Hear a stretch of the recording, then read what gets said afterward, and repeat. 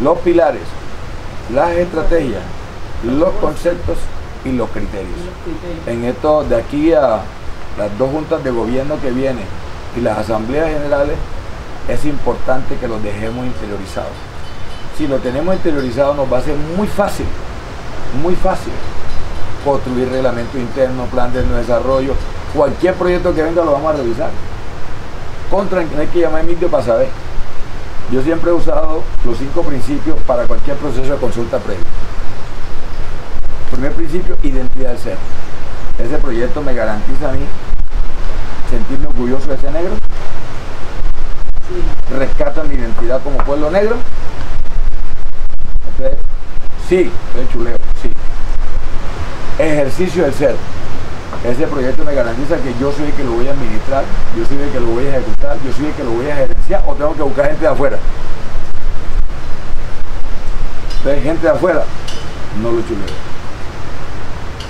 Este proyecto me garantiza el control del territorio, que es el espacio para hacer.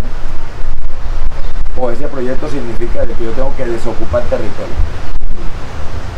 Para que ese proyecto funcione bien, yo tengo que salir del territorio no me sirve. Ah, me garantiza que si yo están en mi territorio, controlando mi territorio, chulo favor.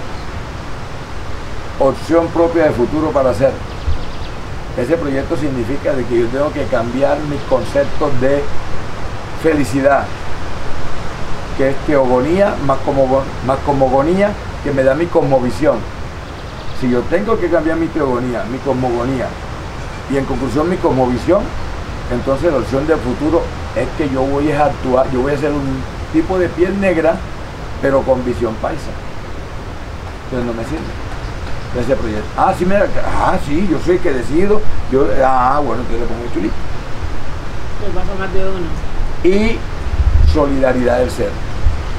Si con todo eso que yo tengo, que estoy construyendo un paraíso para mí, no lo puedo compartir con mis otros hermanos, blanco, amarillo, rojo, azul, como sea, si yo no puedo compartir eso con más personas, sino que eso me va a llevar a mí a que yo soy de putas. Es decir, al racismo lo contrario, tampoco me sirve. Si yo no voy a ser solidario con los movimientos sociales,